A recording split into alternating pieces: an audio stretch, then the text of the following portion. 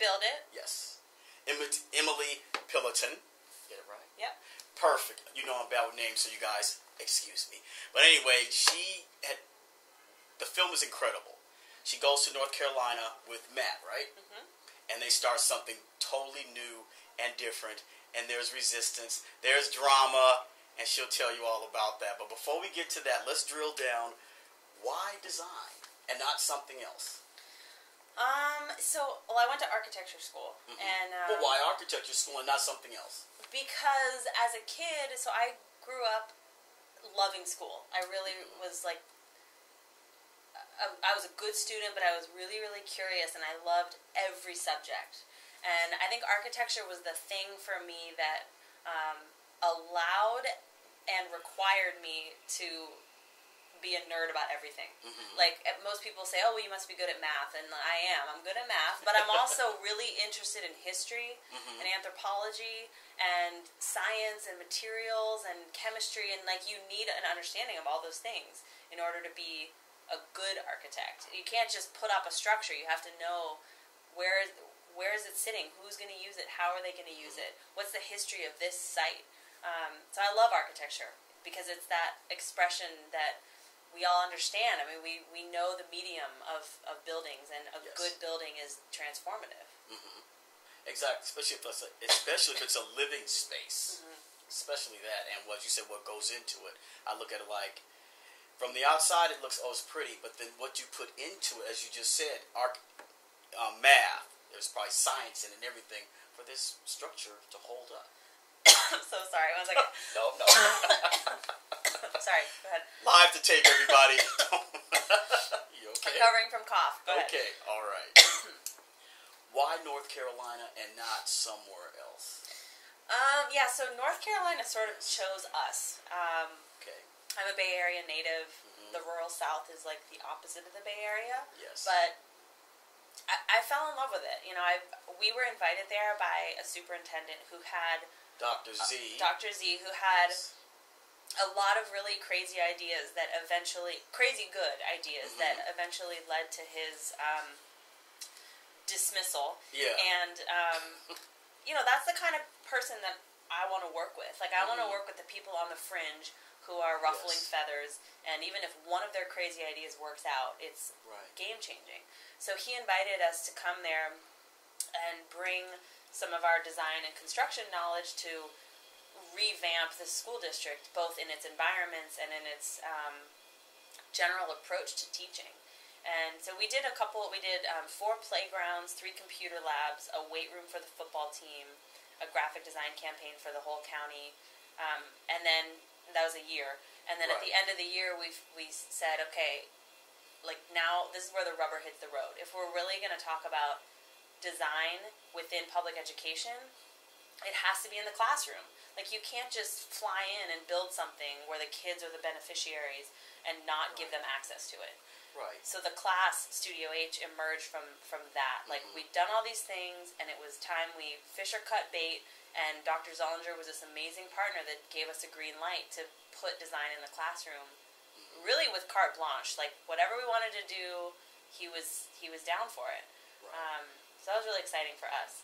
Right now, you ran into resistance in the film. You ran, and it's interesting because that board represents a lot of places. They're getting all this money, and you guys worked for like they didn't they didn't pay you guys. Yeah. Yeah, we played chicken with them a little bit, and they. Mhm. So what happened? The short version is Right. that um, Dr. Zullinger made a lot of changes really quickly, and one of you know he brought in Teach for America and all these really amazing things, and um, I think for the powers that be, it was Too too, much change too fast, and Yeah. there's a little more backstory to it than that, but that's what it came down to, and um, so when he left everything that he loved or created was on the chopping block, and we were definitely at the top of the list. And um, so when they said to us, "We're tearing up your contracts and not paying you anything," I really think they expected us to pack up and leave. And What kept you there? Because a lot of people would have said, "Okay, fine, we're done. We don't even know these folks. We're gone." no, they didn't know who they were dealing with. We were not going. We they did not know that that we that meant nothing to us. We were like, okay, fine, we'll make it work. Well, mm-hmm. those kids, we knew our students at that point. We we had spent time with them. We had spent time with their families. I had raised one hundred fifty thousand dollars in grant funding. We had built out a shop. We weren't going anywhere, and even if they had said like we're going to burn your house down, I, we would have made it work because we had a responsibility to those students. And the biggest injustice is that no one was acting on their behalf. This the students were also saying we want this class and no one was listening to them so we felt like it was our responsibility to be the ones acting on their behalf and if they wanted this class and we had the tools to provide it then we were going to make it happen I mean, it's a very intense film, and as I said, the school, uh, that board, whatever school board, just looked, you know, as we've seen over in different cities, Mhm. they're like that. And what Yeah. kept and now what you did reminded me of back in when I went to school, those metal shop and wood shop, Mhm. which now they've gotten rid of because you got your hands actually dirty, mm-hmm. and it felt so good. So you bringing that back because it seemed it worked. I mean, as far as the movie, it worked wonderfully. You had them thinking a different way. Yeah, yeah. There is a different, I don't know the cognitive science behind it, but I Mhm. know experientially that kids, or people in general, but especially kids, their brains work in different ways when their hands are also working. And we wanted to bring back that legacy of shop class, but with a twist that was meaningful in 2010, 2011 when we were doing the project. Like, let's bring back the opportunities to build stuff, but let's add in this component of design. I'm not going to hand you a set of plans and say, go build that birdhouse. I'm going to tell you, let's design homes for birds that are the coolest things you've ever seen and that are responsive to the habitats and the needs of those birds. So they're actually invested in the success of the project. Yeah, and that there is a sense of voice in it too. Like Mhm. my design is going to look different than his design, and it's an expression of who I am, but it's also in touch with the people that are going to use it. And that's where architecture is special because you're building something for the use for use by someone else. Right. So there's that there's a built-in empathy and you have to design it in a way that it it comes from you and it's an expression of you, but it's for someone else. And you have to understand who that someone else is and design it with their needs in mind. the house he built in Detroit. Yes. Oh, that oh, that scene just it saddened me and it got me angry. Yeah, but you know what? It's also the reason why Studio H existed the way it did because we've all I've done projects like that that in hindsight I'm like that was horrible. That was a horrible failure. What was I thinking? Mhm. And the lesson that Matt learned in Detroit, which I've learned in my own Yes. failure project Mhm. projects is that nothing matters if it doesn't come from the ground up and if it isn't built by people that feel an ownership. And so Yes. Matt his story is is sad on one hand, but Mhm. it's also a great lesson in Yes. like Studio H everything that came out of it was from like the hearts and souls and blood and sweat of our students. So Yes. even if we walk away, if we get hit by a Mhm. bus, that belongs to those students. Right. Yeah. I like that part. And you were also, I thought, sneaking in some life lessons for the students too. You know, well, think of it like this. Think of it. Yeah. Do it like that. You know, we could. I thought, I think Jamisha. hmm I thought they're gonna buy me a bike. No, I'm gonna help, help you build No, you're gonna Oh, build it yourself out of Oh, four old bikes that you Right. thought were broken. Yeah, Yes, yeah. that's good. That you know, design for me, like I- Mhm. you hear the word design, and I, I think your brain goes to this like luxury lamp store or something. That's how it's been presented. which is know. just that's a whole other interview. But um, yes. No, I mean design for me is just like critique and improvement. And if uh, if I could teach a student how to look at the world and ask why is it that way, why isn't it better? Here's how it could be better, and I'm going to build it. Like Mhm. that's that's it. So with Jamisha and her purple bike, she yeah, her instinct and what she had been accustomed to believing is that if I need a bike, someone will buy it for me. And we said to her, that's one way to do it. Or we have four broken bikes, and together they have all the parts you need, so let's build it.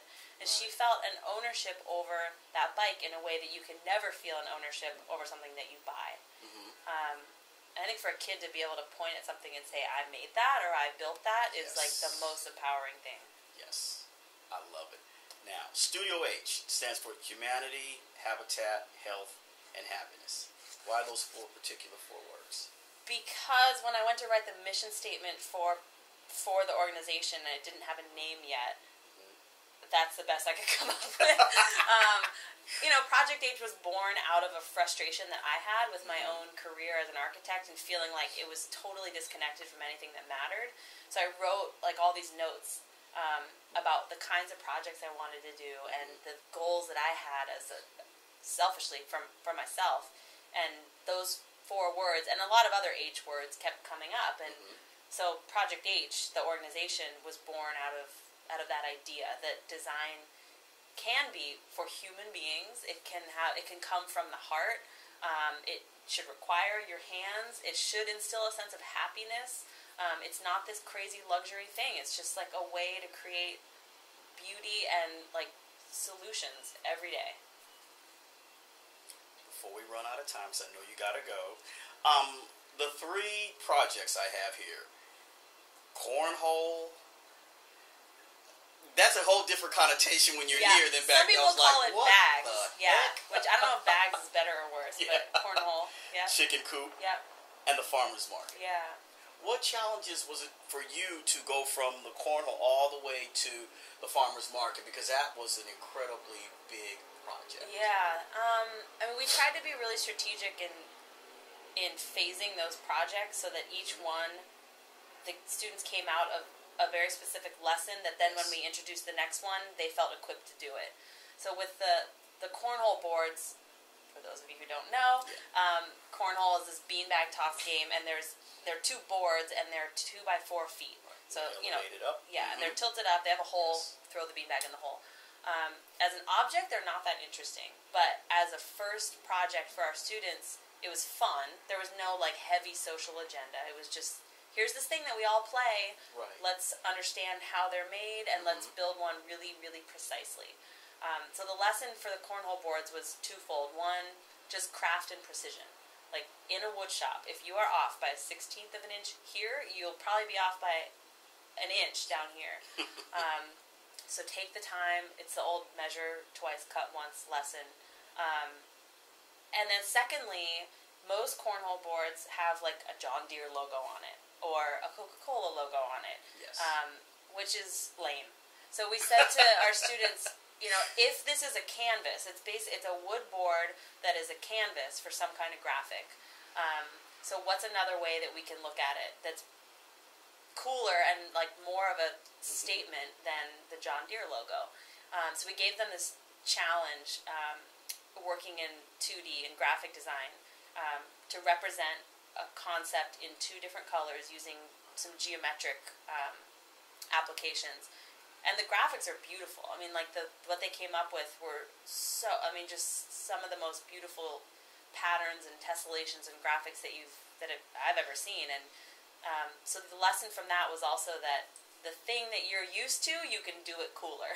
yes. Um, so then when we went to the chicken coops, that was we wanted them to go into it with that. When I said chicken coop, instead of thinking about a box with a roof on it, and with chicken wire, because that's what I thought. I said Yeah. chicken coop. Hmm. yeah. But then So I want them to push the boundaries because they just learned how to do that. Yes. Um, and then with the the lesson for the chicken coop was how do you design a space that something can live in with the needs of that thing in mind. In this case, a chicken. Um, so we spent like hours observing chicken behavior and coming to understand how do they feel comfortable, how do they like to eat, and what does that mean spatially, like do we need to build them a separate room for them to sleep in or do they want to be you know so all of these behaviors influence the design yes. um, so then when they went to the farmers market they're thinking about the client like it's not a chicken anymore but who are we designing for what do they need what kind of air and light and materials like does this thing should this thing be built out of and how should it accommodate um, natural elements and human traffic and you know the way people move through space so it was all sort of scaffolded in a way that when we got to this 2,000 square foot building, they really had all the tools they needed already. Mhm. Uh, it was just a matter of putting it all together. Now, what lessons did you learn from hanging out in North Carolina? Now you're back in here, up here in Berkeley. Yeah, so Bertie County, North Carolina, and Berkeley are probably the two most polar opposite places in the country. Yes. Um, but I felt like it was really important to prove that it could exist in both places and that there really is a universal approach. Uh, the project may change, but the heart of what we do and the way that our students work in our classroom is exactly the same. Um, we're at Realm Charter School in Berkeley now, and we have 216 students And you're instead getting of 10. paid. We are getting paid. Ah, Um, yes. But more importantly, we're in a place where where we have the support of a school community Right. that is not only giving us a green light, but asking us for more all the time. I mean, we have 8th, 9th, 10th, and 11th graders now. Um, I have an after school girls camp and a summer camp. And the lessons that we took from Bertie County were, I mean, we owe everything to Bertie County in a way. That's where we learned how Toughened to, you how up, to so to fail. speak. Yeah, how to how to how to really connect to kids. Like there's there's so many classrooms that I walk into and there's a teacher standing up here and 30 kids in desks and it's just tired. Like that's we've done that for 200, 300, however many hundred years and that's not the way kids learn. Mhm. So I think the things we learned in Bertie County were about the type of classroom we want to have, the type of student, and th- the things that we can give to them that they'll carry throughout the rest of their lives. Um, and more than anything, just that like people consistently underestimate kids, and True. and you give them the right space and the right voice, and they will blow your mind. And so being in Berkeley now, it's just at a bigger scale. Like if I can do that with ten kids, what can I do with two hundred and sixteen? I was really, I'm serious. It just, and it also choked me up when you hand wrote. It really did when you hand wrote the letters to the students. They weren't form letters. They were actually like, "We really appreciate you." And I think it was the football player who was at the car, sunglasses on. He says, "I'm glad I had these sunglasses on." Because you could see he was going to cry. Yeah. And that's what I mean about those kids. Like the the best teachers that I ever had hmm had that kind of relationship with me. They they would write me handwritten letters. You know, they they knew my family. Like I really felt like they they believed in me and cared about me as a person. And so all of my students in the film and then even now, like I take all the tools away, all the projects away. Like the students just need to feel like they're supported and loved and that they already are brilliant and that we're the ones holding them back. You know, like so what can we give to them to to bring all of that brilliance back to life? Yeah, and I can't recall each individual name, but I know one of them. First one in his family went to college. Stevie, yeah. because of you guys. Was it was like, wow, that's Yeah. that's huge. That is huge. I tell people, so don't play that short. All the generations, Yeah. something sparked. I want to go to college, and it was you guys. Yeah. Yeah. He's that kid's awesome. He's Stevie's he's the poster child for what Studio H can do. All of them just fantastic. Folks, she's got to run to a. um, where do you got to go again? I gotta get back to Berkeley. Yeah, school. You know, obligations. Students. PTA, Parents students. Teachers Association. Okay, don't be afraid to say it. I used to go to PTA meetings too. So yeah, Emily Pilloton. If you build it, go out, support the film when it comes out. How can people reach you, contact you if they're really interested in what you're doing? Um, ProjectHDesign.org is the website for our organization. You can look at the current projects, past projects. Um, we have a whole toolbox. All of our lesson plans are all available to anyone. Just take them. Um, and information about the girls' camp, the film, it's all there. Perfect.